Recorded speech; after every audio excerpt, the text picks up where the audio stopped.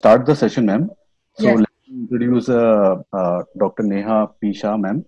So Dr. Neha, ma'am, is uh, based in Mumbai, India, and she practices general ENT and uh, radio frequency and OSA surgeries. She has done her master's from prestigious Topiwala National Medical College in 1999 and stood first and won many awards at several uh, at several locations for MS and FCPS examinations. She was amongst the pioneers of uh, radio frequency ablation techniques for snoring and sleep apnea. She has also gained extensive experience in the UK. She has authored a book Clinical ENT and did several presentations to her credit and overseas also. So many sections, including the case presentation, have been uh, written by her. So to be uh, to give a uh, personal thing, we have actually read ma'am's book, The Clinical ENT, and uh, we have passed uh, by reading her book and reading the techniques which uh, which we want to present to the examiners. So that's why we have um, uh, Dr. Neha P. Shah ma'am here for a case presentation. So ma'am will be telling about how to do a case presentation in case of a carcinoma larynx patient. So uh, after that, Dr. Zakir Hussain sir will join us and he will take the instrument section and how to deal with the instruments. Uh, so Dr. Zakir Hussain sir is also with us now. Uh, welcome, Dr. Zakir Hussain sir. Uh, Neha ma'am, uh, up to you ma'am. Now you can start the presentation ma'am. Uh, yes. Thank you so much. ma'am. Sure. Thank you. Thanks for the introduction. Thank you very much for this uh, opportunity as well. Uh, now, as regards this presentation, first uh, I'll just mention few things to the students. This is solely for the students. Circumstantial is not conducive to present right now. It's solely for the students that have done this. One, I'm not a larynx person as such tot- uh, totally, but I've tried to compile things in a manner which may be conducive to the students as much as possible. Second, now this we are presenting assuming that this is a case of this is the patient is a case of carcinoma larynx. Understanding that and then we are presenting this. Second. Third all i'm talking regarding examinations. Third all straight away we'll go to the schedule. Okay? Third all greetings to the examiner have to be maintained like good morning good afternoon whenever your exam is and all what have you learned how to present case has to be followed. The protocol as such exactly has to be followed. So now straight bang on we'll go to the history and case presentation. Now first there is a protocol which needs to be followed regarding carcinoma larynx regarding a larynx case. We have done it as a medium or a short case for MS examinations. Your case usually used to be a longer case. This here we presented a format and a pro forma which may suit all examinations probably. So now beginning with that straight going to the history. Now first I'll tell I'll tell to the student let this be a session wherein you all are learning right now everything just like a revision learning and a revision straight away. Things may be re- repetitive but finishing off right now straight away. So take it as this session. अभी exam का सब कुछ कर लेना kind of you know. so I've tried to compile it in that manner. So case presentation, carcinoma larynx. Now straight first history. Now history. The first main few points. I could have loaded this with animations, but I haven't because that would not catch the that would catch the eye, but wouldn't remain static on it. You know. So this year you'll be able to read the slide for a slightly longer period of time. So history points. So first point, change in voice. Second, dyspnea. Three, cough. Fourth, dysphagia. Five, odynophagia. Six, foreign body sensation or clearing of throat.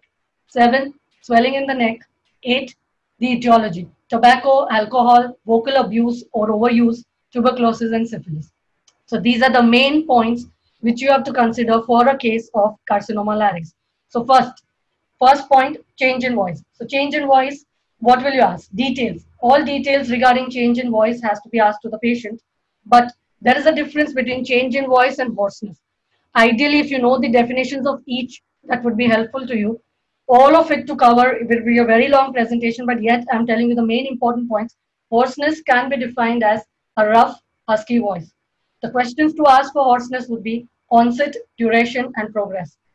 Per se, onset, abrupt or sudden, or slowly progressive.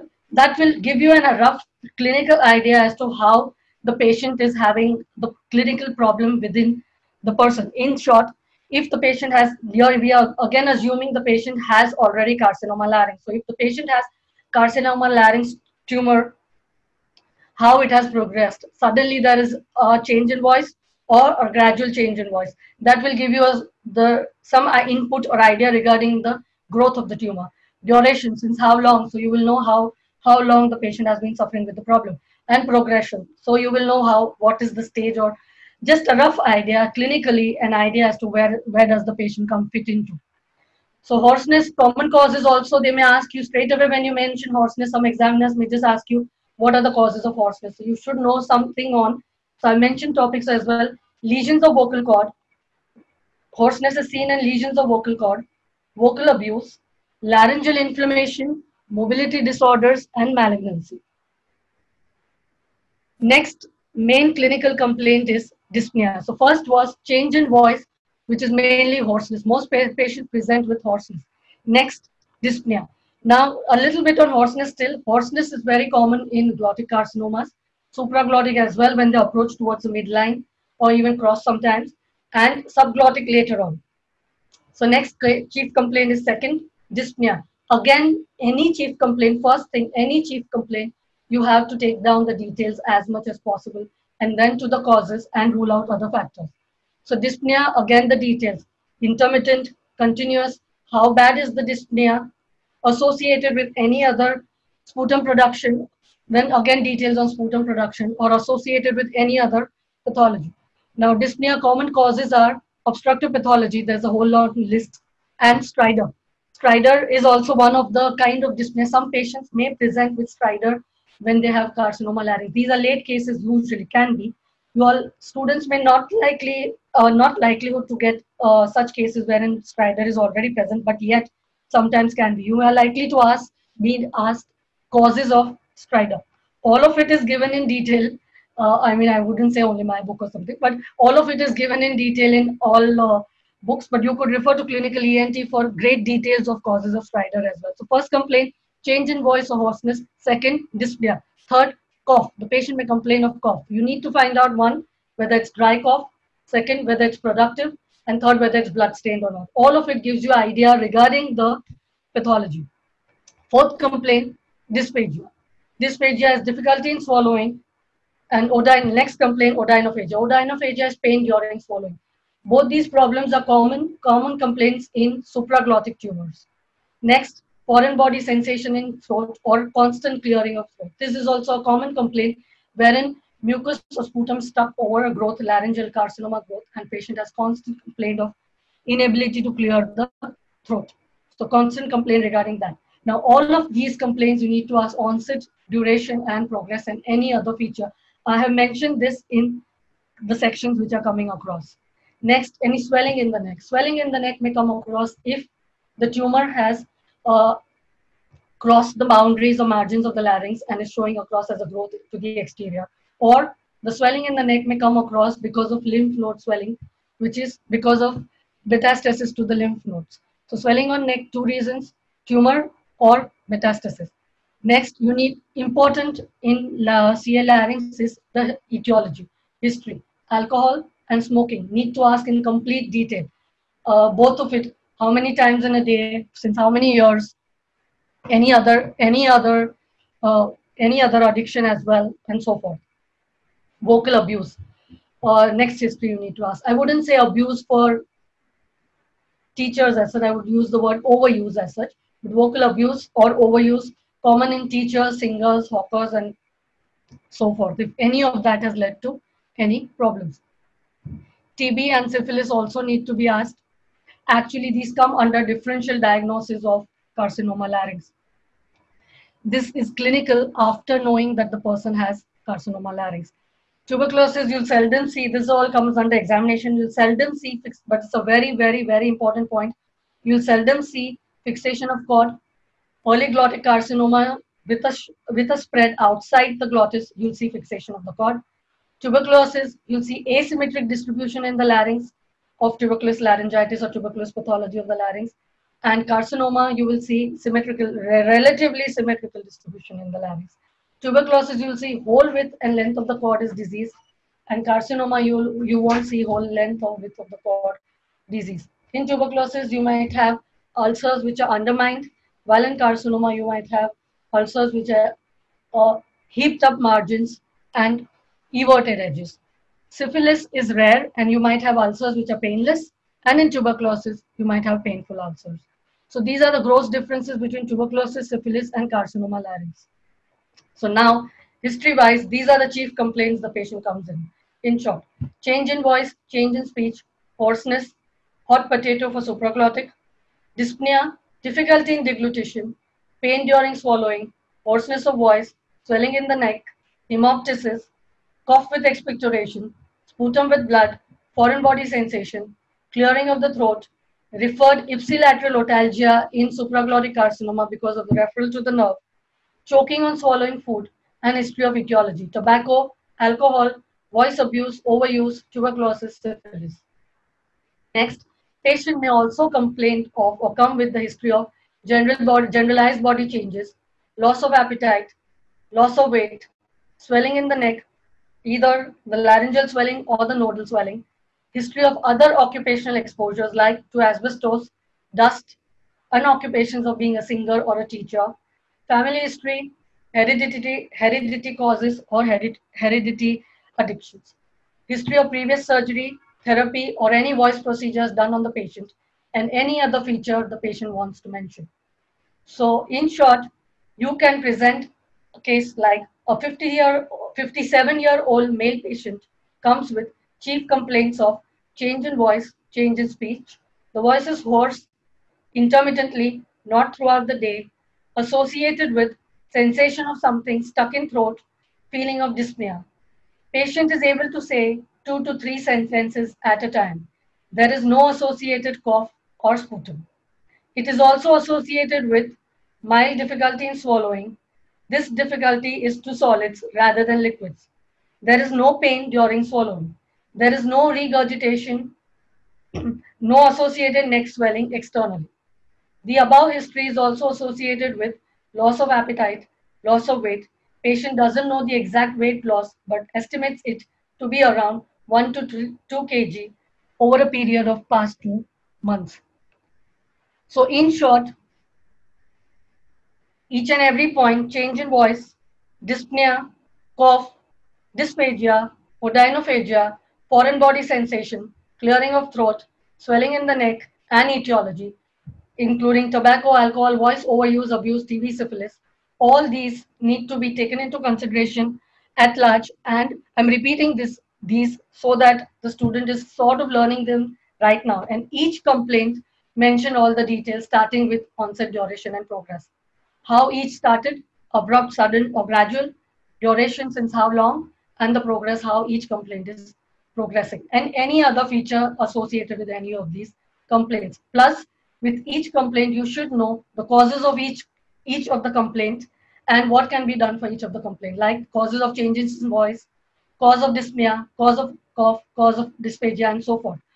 So each complaint, ODP, cause, each complaint described in detail, ODP, cause, and the treatment for each complaint. That's how you do your history and you know you become thorough for the examination. So that's how I'm, I'm putting it across to you.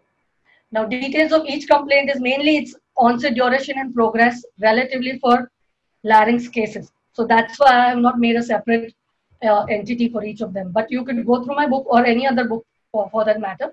But it is these are the main complaints and the onset duration progress in each in each and the etiology, which is very important regarding uh, uh, carcinoma larynx. So once again, change in voice, dyspnea, cough, dysphagia, odynophagia, foreign body sensation or clearing of throat, swelling in the neck, etiology, which mainly includes tobacco, alcohol, voice overuse, abuse, TB, and syphilis. That's your CA larynx history. In your mind, it should just kind of come across when you, I mean, you should just be able to ask these one, one, one, but, but, one, two, three, four, five, six points, whatever to the patient. Write it down in your, this all goes beforehand only that I mentioned that the rules remain the same. You need to write down on a sheet of paper, whatever is there for the exam. You need to draw your, draw in your diagrams with proper labeling or all on one side and then present to the examiner in a loud, clear voice. So that's, that's your total history. In short, just this small, small workout is your total history for CA larynx. So now we move to with some causes which I have mentioned here, like hoarseness, lesion, which is commonly asked, lesions of the vocal cord, vocal abuse, laryngeal inflammation, mobility causes, and malignancy. Dyspnea, also you should note all causes of obstructive pathology and causes of stridor, which are extralaryngeal, intralaryngeal, within the larynx, and so forth. The typical classification, you should know all that. Cough, dry productive blood stain, causes of all should be known apart from onset, duration, progress, color in the cough, any foul smell or not, all of that. Dysphagia, odynophagia, ODP, and to solids or liquids, any treatment taken and the causes of each dysphagia, odynophagia, foreign body sensation in the throat, swellings in the neck, you should know the causes because the case may go from one point to anywhere actually and should be knowing complete neck for CA larynx, complete neck in toto, in and out. Each each swelling, the cause of each, the treatment for each, how do you diagnose them, how do they, what all will you ask for each? Total no, and then just go to CA larynx, okay? Etiology, alcohol, know everything about alcohol. That's why I, have like uh, what how much is needed to call it as an addiction how much is needed to call, uh, to say that uh, this has affected the body what are the main uh, components what are the bad components of alcohol which leads to uh, damages in the body to the larynx carcinoma as well as to the liver or so forth smoking what are the components in the smoke carbon carbons hydrocarbons uh, and so forth vocal abuse you should know that a little bit on vocal polyps tb and syphilis these points are very important differences, but you can jot them down whenever between TB, syphilis, and CLRS. These are the very important clinical points which help determine the differences. Points in points in the history, so forth.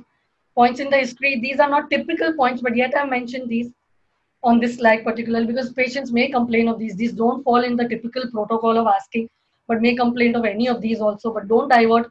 Stick to your protocol and uh, find out everything about this, like loss of appetite, no sense how long, whether can eat solids, liquids, why not eat, how much weight is lost because of loss of appetite likelihood, or how much period of time and so forth.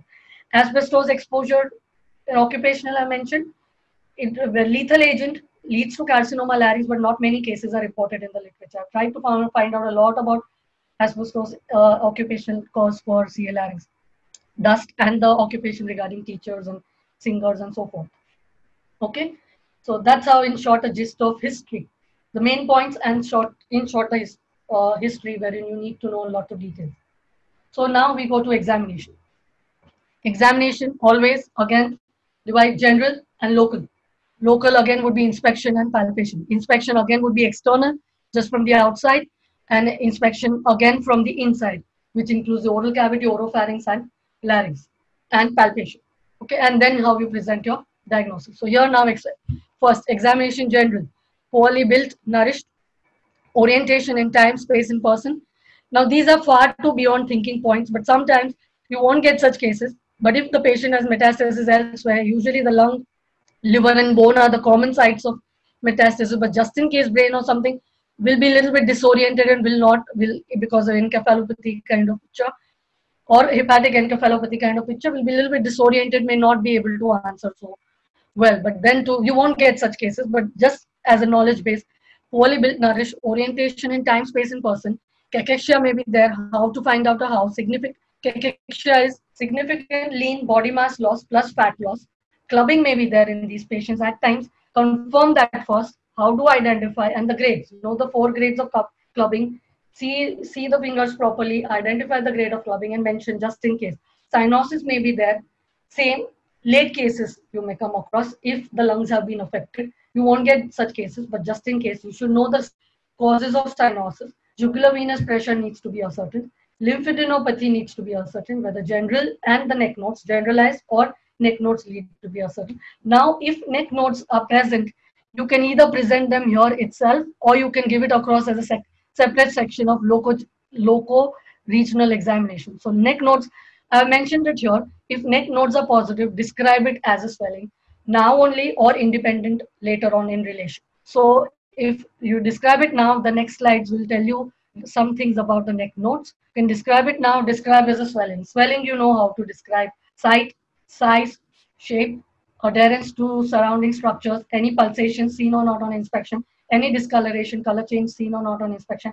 On palpation, the first thing is the firmness of the swelling any induration there or not, any adherence to the skin puckering there or not, any sinuses or fistula over the swelling there or not, any movement, whether it's able, you're able to move or not, any pulsation there or not over the swelling, if at all the swelling has any pulsation, whether it's expansile or transmissible pulsations. So that's about the general examination. These points may be there in these patients.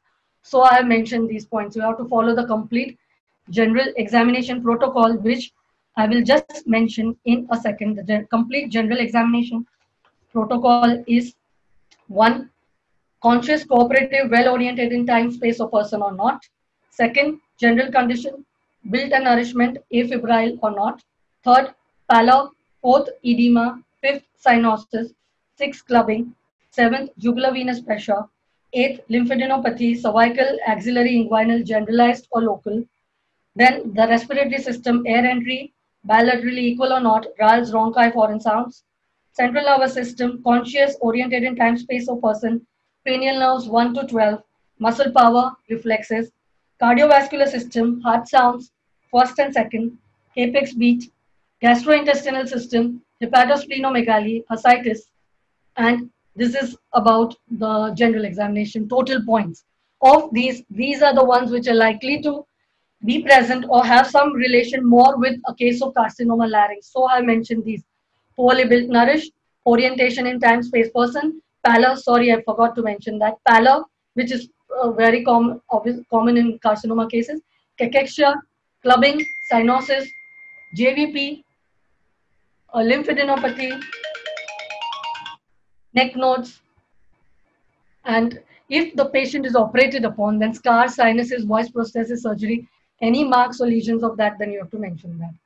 Okay, so now if the neck nodes are present, I'm describing a bit of the neck nodes as of now straight away. Knowing that this is a CA larynx case, you need to know neck nodes, uh, which, which laryngeal uh, cancer transmits to which neck nodes per se. In neck nodes, first, if it's a swelling, same describe as a swelling, side size, shape, adherence, feel on palpation, form or not, so forth. I mentioned to you already. As a level, describe level 2, 3, 4 for supraglottis, usually that's the affected one. Level 2, this level 2, 3, 4, 6 for glottic carcinomas. If at all, they don't they don't uh, spread more because of lack of lymphatic permeation. And level 2, 3, 4 for transglottic enlarged movement, describe the node completely in detail. Supraglottic, rich, clinically you need to know supraglottic, rich lymphatic network, also midline. So level 2, 3, 4 and bilateral spread is common. Glottic, rare if precarious lymphatics, level 2, 3, 4, 6, yet sometimes. Subglottis, primary subglottic carcinoma, this important clinical point, may present for DNB may present as paratracheal lymph node level 6 lymph node at times. This is, a, this is, a, this is an important point. So if a swelling is seen externally on the neck, describe as a swelling, site, size, shape, movement on swallowing, deglutition, indrawn during inspiration or not, palpation from behind from both, both hands, firm, firm or hard on palpation, adherence to surrounding structures, so that's how you'll describe a swelling. Now, local examination, external, the points are first. This is regarding carcinoma larynx. But the first, the points are first, you describe the laryngeal cartilages. Examination of larynx, first you describe the laryngeal cartilages. It is done with both hands stand, standing behind the patient. First inspection, the laryngeal cartilages. The larynx is expected for any mass, fullness, fistula, and movements during deglutition and respiration. It gets indrawn during inspiration and laryngeal obstruction. Tracheal obstruction does not produce such changes, and laryngeal framework may get distorted in certain tumors or malignancy. First thing now you have to describe is the patient's head should be flexed slightly to relax the neck muscles, and the hyoid bone, the thyroid, and the cricoid cartilages are identified. The cartilages are palpated for thickening, one, two, tenderness, and three, any broadening. So that first point is laryngeal cartilages. Second point is the thyroid gland. So the second point is a thyroid gland which lies over the thyroid cartilage from second to second to fourth cartilage. Second to fourth cartilage. It is examined for its consistency, swellings within, tumor or any pulsations. Its movement is examined at deglutition and protrusion of the tongue. The second point is the thyroid gland. First point is the laryngeal cartilages.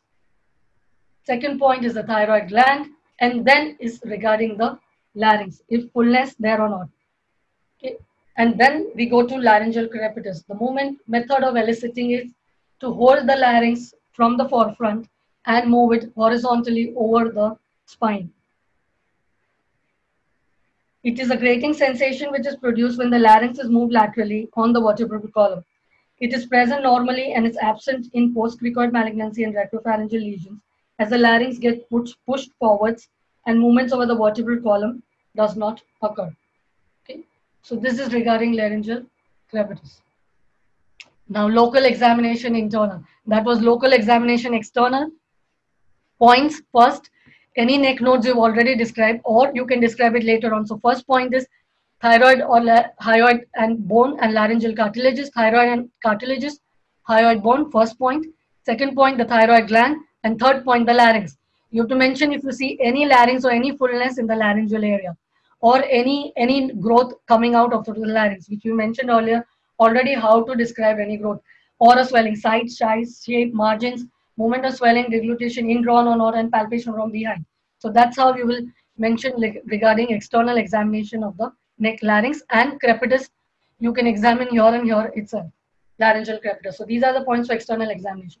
Now going to internal examination, oral cavity, teeth, tongue, buccal mucosa, look for halitosis, dental caries, stains, tobacco, smoke, gutka.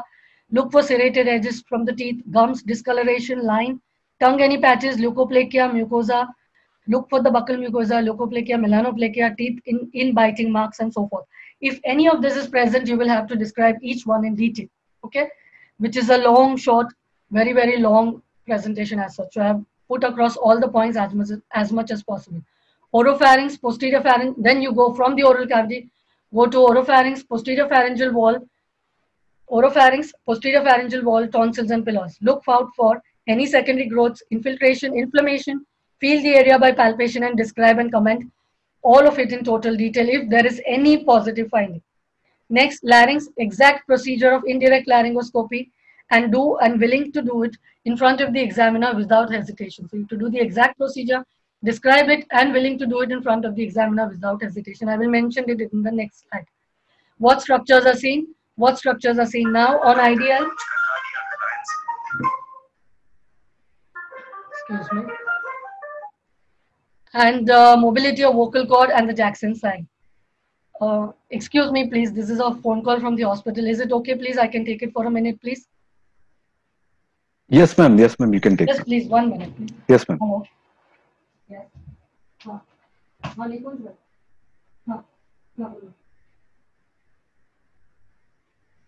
अच्छा तुम video call करो पांच minute में तुमने करो खाना पर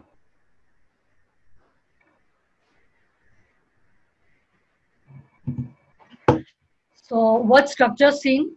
And then supraglottis, glottis, any structure, any subglottis or the tracheal rings are seen on indirect laryngoscopy or not. So indirect laryngoscopy, the points are what structure seen, what structure seen now, color description, mobility of the vocal cords, and Jackson sign is what the student should know. Then supraglottis, glottis, and subglottis, and any tracheal rings seen or not.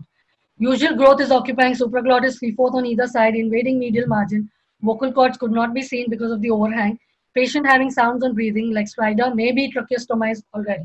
I'm giving you an example. Glottis growth, then growth on the vocal cord, site anterior two-third or posterior two-third, anterior one-third or posterior two-third. Surface above, under, movement on E, crossing the midline or not, the margins, variegated appearance, slough on it or not. This is how you would describe a growth of growth on glottis. And any fixation of the cord, invasion, the reasons are the invasion of the cricoarytenoid joint and the thyroid, thyroarytenoid muscle. So, and if any subglottis is seen, same way described as anything, whatever seen in the subglottis, swelling, site, size, shape, extent, appearance, color, feel on touch, bleeding on touch or not. Glottis and subglottis part may be having a nodule, polyp, or growth like which may look like benign pathology. What is meant is a vocal polyp can also be malignant, a small warty-like wart-like growth, proved only on histopath or similar may be given as a case. So student can voice that, that this looks across like a polyp, but it can be a malignant case as well. Example, a one centimeter lesion is seen on the right vocal cord anterior two-third at the margin, red in color, irregular margin, firm in consistency, no fluid or gel-like structure seen within. Surrounding vocal cord appears normal in appearance. On, uh, on mobility, vocal cord appears mobile, undersurface does not appear to be involved. Lymph node seen or, not, or palpable laryngeal crepitus present. Stage grade TNM classification CA larynx with vocal cord can confirm only on, always say please, can confirm only on uh, histopathology and why carcinoma would, can be the first question to any student. Take home in short would be history, change in voice, dyspnea, cough, dysphagia or odynophagia, foreign body sensation, clearing of throat, swelling in neck, etiology, tobacco, alcohol, voice overuse, abuse, examination, inspection, larynx, external mass fullness, palpation, hyoid and cartilages, thyroid gland, laryngeal crepitus, systematic examination of neck nodes, indirect laryngoscopy, and the diagnosis. That's how you would put it across for uh, CA larynx. Supraglottis would be dysphagia, hoarseness, which important points to remember. Dysphagia, hoarseness, rich lymphatic network, uh, uh, nodes, and uh, about the vocal cords. Glottis, change in voice, commonness, poor lymphatic network, includes the vocal cords. Subglottis, dyspnea, primary subglottis, primary subglottis carcinoma to level 6 below the vocal cords. American Cancer Society notes are for laryngeal carcinoma are very good for staging of laryngeal carcinoma as well as details of laryngeal carcinoma. And also obviously please read through my book or any other book for laryngeal carcinoma. Common questions which can be asked, which I have felt through uh, on thinking are causes of CA larynx, spread routes which are very important, very nicely given on each subpart of carcinoma, details of IDL, surgical anatomy of larynx, surgical treatment and procedures of CA larynx, tracheostomy, speaking valves and tubes, post-laryngectomy, post-laryngectomy rehabilitation, artificial voice and processes. Uh, these these all need to be known by the to the student and by the student. Make thorough that this is known for the history and examination case. Okay, sorry, but I, I take your leave for the moment. I may have hurried up a little bit towards the end, but uh, I need to address uh, an hospital issue, please. Yes, ma'am. Yes, ma'am. We understand, ma'am. I hope uh, it was useful to the students. Yes, ma'am. It was uh, wonderful, ma'am. And I hope it is. Just, they just make all of this very thorough. Some of it is some uh, details are given and rest they just make each point very thorough. In short history points and yes, know them thorough examination points and know them thoroughly. Yes so, ma'am yes yes. So thank, thank you, so much ma'am thank you. Yes, thank coming you so on much. dnb mentors. Uh, uh, thank you so much ma'am. Uh, i think i i would like to summarize uh, what ma'am told and what uh, we think that first of all, uh, all the students should know that you will not get very sick patient for case presentation. So you will not get a patient who is in trolley and he is uh, gasping. So you have to be very sure that uh, the patient will not be very sick. He might be sick. Okay. Second is the pattern. Pattern is you will get 20 to 30 minutes for examination. Then you will get 20 to 40 minutes for writing your case and revising. And in the meantime, if you suspect that there is a language barrier, then you should always call any help which is near to you. Uh, mainly, they will be residents or they will be uh, nursing staff. So please call them before the examination only. And then you will have 20 minutes to 30 minutes for the presentation. So initial 10 to 15 minutes will be given to you for the presentation. And then the next 10 minutes or 15 minutes will be the examiner, uh, he will ask you the questions. So you have to present the you have to give the answers. Don't think that you have to give a precise diagnosis. Be sure that you just tell them what are, what are your examination points what are your positive findings and what are your negative findings. Never miss the name the family history the drug history systemic disease history and you have to be very sure that if there is a patient of carcinoma you have to palpate the neck nodes because this might be the major negative point for your examination part.